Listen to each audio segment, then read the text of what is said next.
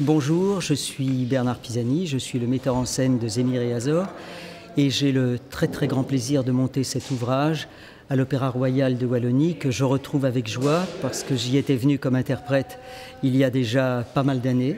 J'y avais fait une vie parisienne et le Pont des Soupirs. Ravi aussi de retrouver cette merveilleuse ville de Liège où il fait vraiment très bon vivre. Alors, en ce qui concerne Zémir et Azor, c'est le thème en est La Belle et la Bête. Donc euh, je me suis tout de suite référé à, l'immense bonheur que j'avais eu euh, en visionnant le film de Cocteau, La Belle et la Bête, qui est une féerie magnifique.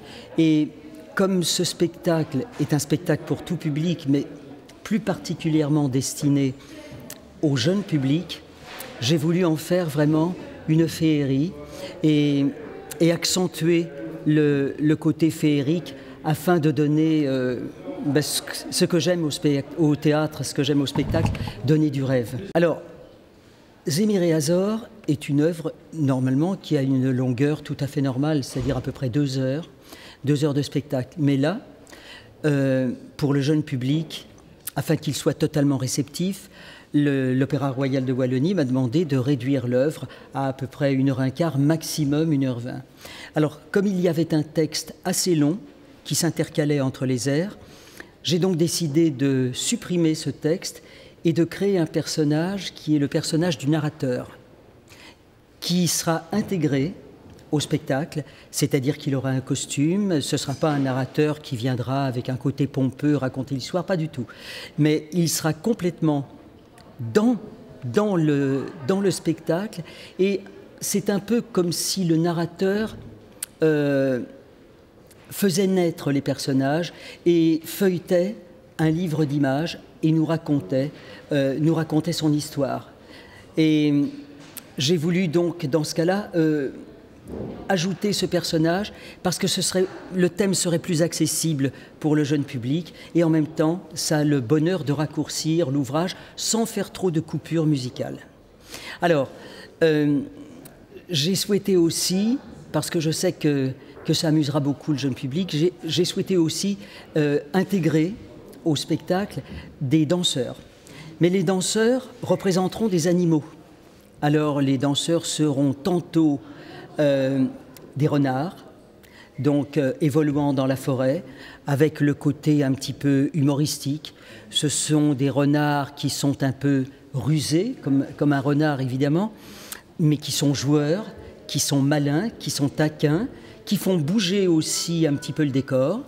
Et lorsque ces danseurs n'interpréteront pas les renards, ils pourront être aussi les majordomes d'Azor. Azor, c'est la bête. Zémir, c'est la belle. Donc, euh, Azor a, été puni par une fée. Et donc, euh, la fée a décidé d'en faire un personnage laid, un personnage homme-animal, et pour qu'il redevienne un très beau jeune premier, il faut absolument qu'une jeune femme, amoureuse de lui, lui dise je t'aime. Donc c'est difficile de dire je t'aime à, une bête qui est un petit peu bah, disgracieuse. Mais, eh bien, je ne veux pas vous en dire davantage, mais l'histoire se termine vraiment d'une façon très agréable et très belle. Alors je vais vous parler un peu des décors. Je suis ici dans le dans le décor de chez Azor. Mais de chez Azor quand il est animal, parce que ce décor vous paraît peut-être un petit peu un petit peu sombre, mais par la magie du théâtre, ce décor va se transformer à la fin euh, pour, le, pour le plus grand bonheur de tous. Là, je suis dans le décor d'Azor. Ce décor a été imaginé par mon, mon décorateur Frédéric Pinault, qui en a fait, qui en a dessiné les contours et qui a dessiné aussi les costumes. Et les décors et les costumes ont été repris par Jérôme Bourdin. Donc Jérôme Bourdin réalise le décor et les costumes de Frédéric Pinault.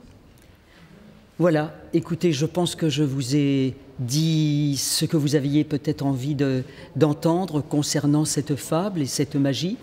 La seule chose que je puisse vous dire, c'est que nous travaillons dans une ambiance absolument euh, magnifique. Nous nous amusons, mais nous travaillons beaucoup. Et ceci pour votre plus grand plaisir qui sera évidemment obligatoirement le nôtre. Donc je vous souhaite un très joli moment avec Zémir et Azor.